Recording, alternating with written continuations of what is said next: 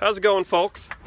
Starting off today's video here at the uh, wonderful Walmart. Got to go in and pick up a few things. As you know already, the title of the video is we're going to be catching some mice with my homemade mouse trap.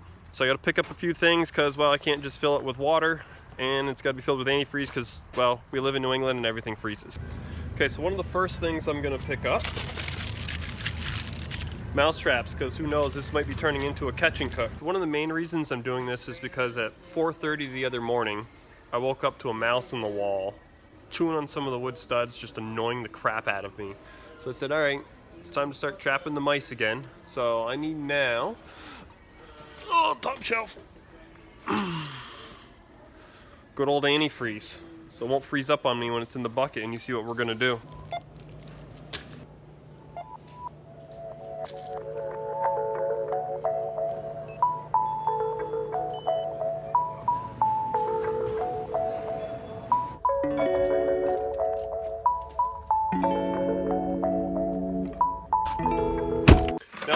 back from Walmart, I'm gonna go ahead and start making my redneck mousetrap. So first thing I'm gonna do is take my five gallon bucket, and you can get these pretty much anywhere. We're gonna drill a couple of holes in it, and I'm using a 1 8 inch drill bit here. So what we're planning to do is stick a wire going right across the center of this, put something on for the mice to trip on and fall in. So let's go ahead and get our holes drilled here. Now it doesn't have to be perfectly straight, but try to get it as straight as you can. Alright, so now that the holes are drilled, I like to use a wire hanger because most people have these around the house. And we're just going to straighten this out here. Now that the wire's straightened out, we're going to go ahead and feed it through the holes that we drilled just to make sure it's fitting okay. Perfect. So now nice straight. We're going to have some extra over here, but we'll go ahead and cut that off. So the third thing you're going to need is a can. Uh, I know some people can use a bottle, but I like to use a can. Um, the idea behind this trap is that it's not something you have to check and reset every day. This thing can just keep filling up, filling up with mice. You know, if you've got a lot of mice and you don't want to check it, you don't have a couple days to check it and reset the trap, it just keeps working each time. So now I'm going to take my drill again. I'm going to drill a hole in the center of the can. I'm using a beer can. Just make sure you drink your beer first. Hydrate. All right, now it's time to assemble your trap. So you're gonna find your holes that you drilled. Put your wire through your first hole.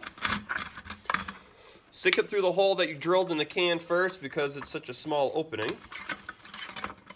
Then you're gonna flip it, get it through the other end here.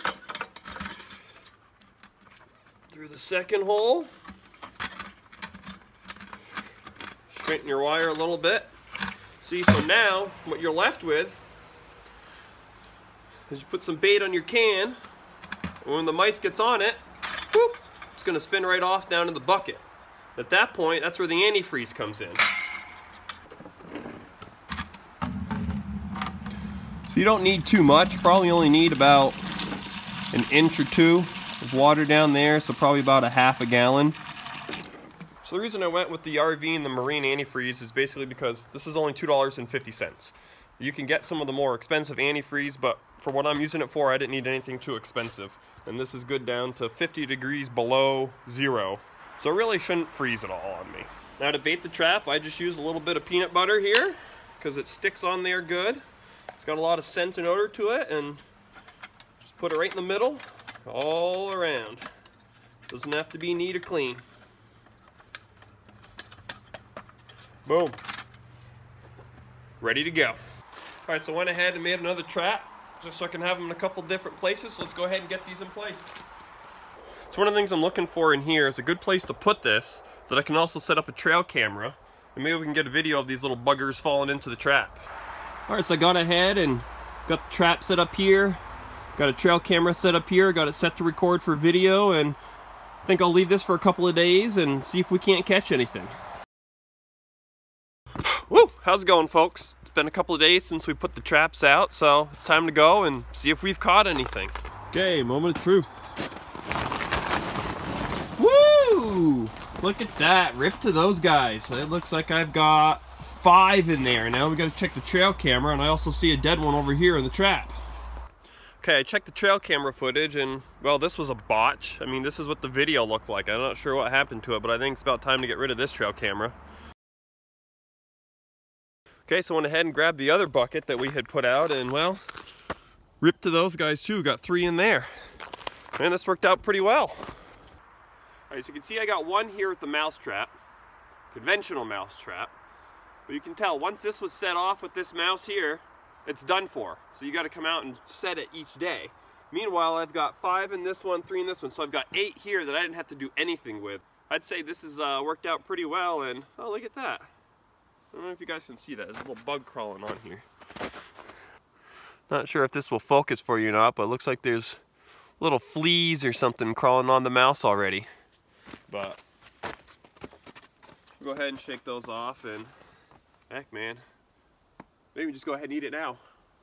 I'm just kidding. Hey, thanks for watching folks. If you're not already a subscriber, hit the subscribe button down below leave a comment if you like these types of videos and maybe I can do some more and uh, as the snow starts to melt here in a couple of months there's gonna be more and more critters out and maybe we can do a little bit more trapping. As always thanks for watching and see you next time guys.